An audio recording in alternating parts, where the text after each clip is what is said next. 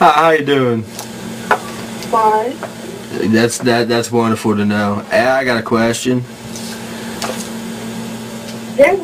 This is a uh, like a uh, like a temp like a temp agency. No, we're not a temp agency today. Well, what do you do? We provide administrative support for our clients. Oh, does that include getting head under the desk? Doing what? Getting head under the desk? I don't know. Did you ask your mother that? Oh, damn! wow, that's like second grade. Come on. Can you come with something better than that? Come on. I'll work with you on it. Come on. Come at me with something better than that.